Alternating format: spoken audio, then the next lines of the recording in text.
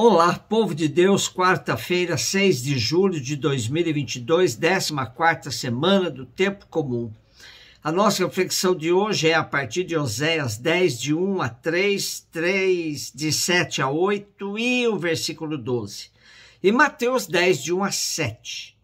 Israel era uma vinha exuberante e dava frutos para seu consumo na medida de sua produção, erguia os numerosos altares, e na medida da fertilidade da terra, embelezava seus ídolos.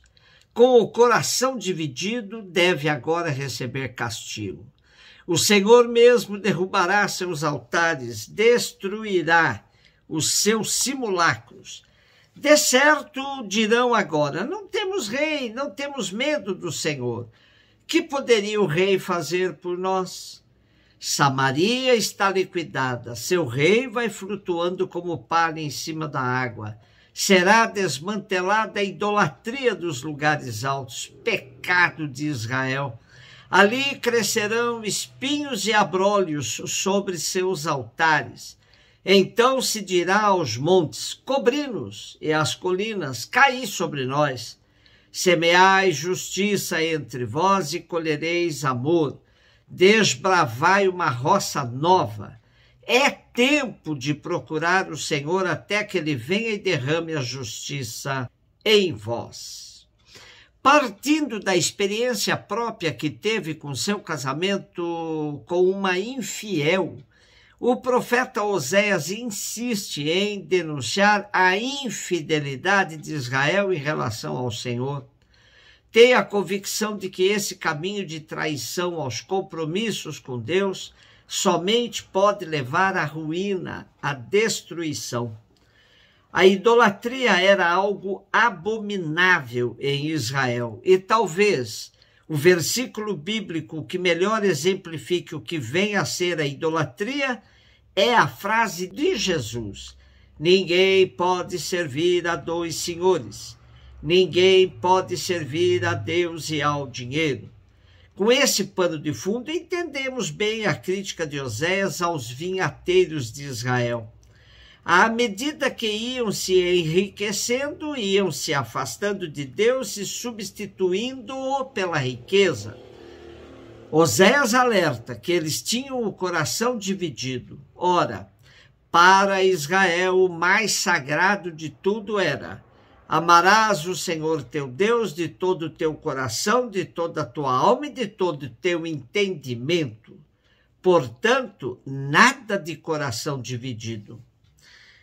O povo lamenta-se por não ter um rei como os outros povos, mas o profeta afirma que sem Javé, Israel está perdido, tenha ou não um rei. Samaria será destruída e o seu rei arrastado como palha pelas águas impetuosas. Os espinhos e os abrolhos povoarão os altares e a cidade deserta. O povo, finalmente consciente dos seus erros, pedirá aos montes que desabem sobre ele e o enterrem para fugir à vergonha. Mas Deus é um esposo fortemente apaixonado, fiel e misericordioso. Daí o convite final à conversão, à sementeira da justiça, isto é, da obediência à vontade de Deus. E virá o tempo da ceifa, num clima de bondade. Quem semeia justiça, colhe misericórdia. Nesta perspectiva, Oséias repete um refrão muito comum aos profetas: É tempo de procurar o Senhor até que ele venha e derrame a justiça em vós. Mateus 10, de 1 a 7. Jesus chamou os doze discípulos e deu-lhes poder para expulsarem os espíritos maus e para curarem todo tipo de doença e enfermidade.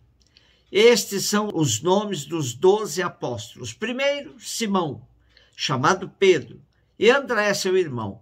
Tiago, filho de Zebedeu, e seu irmão João Filipe, Bartolomeu, Tomé e Mateus, o cobrador de impostos, Tiago, filho de Alfeu, e Tadeu, Simão o Zelota e Judas Iscariotes, que foi o traidor de Jesus.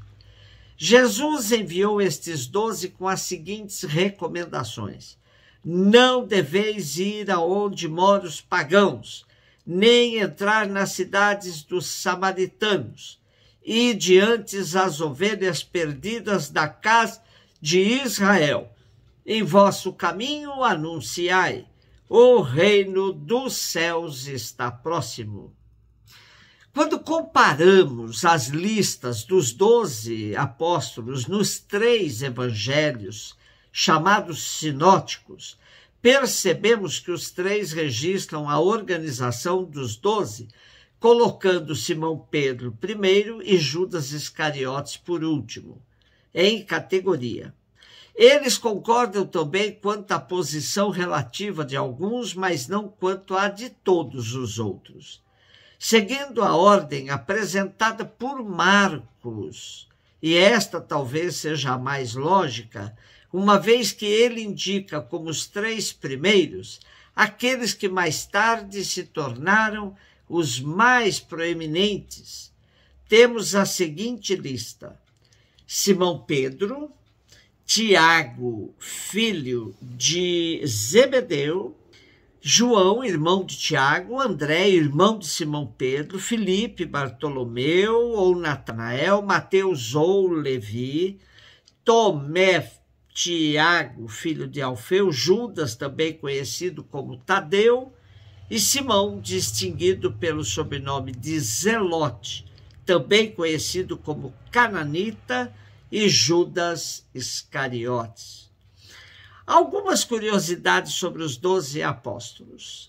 Três ocupavam lugar especial e tinham intimidade com o Senhor: Pedro, Tiago e João. Encontramos na lista dos nomes três pares de irmãos: Pedro André, Tiago e João, Tiago de Alfeu e Judas, não o Iscariotes.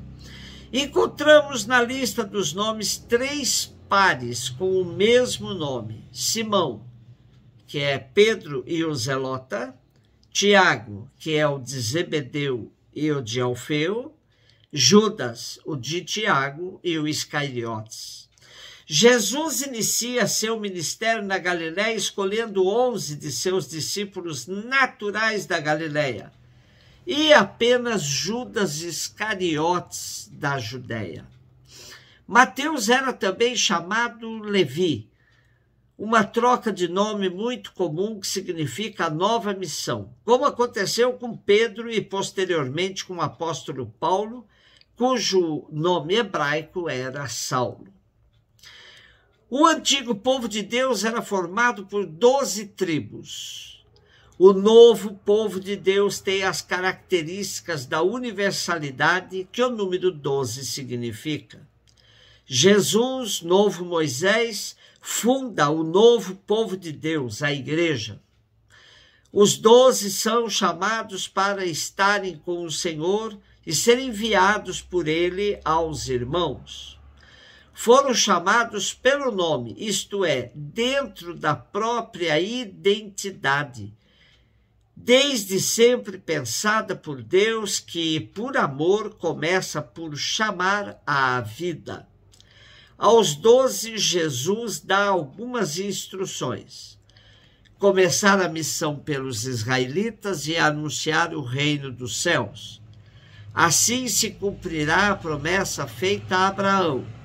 Na tua descendência serão abençoadas todas as famílias da terra. A realização desta bênção de que Israel, se se converter, será portador, é o reino dos céus, isto é, a presença de Deus amor, que em Jesus liberta e salva. Este capítulo 10 de Mateus é chamado capítulo do discurso da missão. Nós também somos chamados a fazer parte desta lista dos doze para estar com Jesus e ser enviados por ele para anunciar o reino dos céus já presente entre nós. Um beijo no seu coração.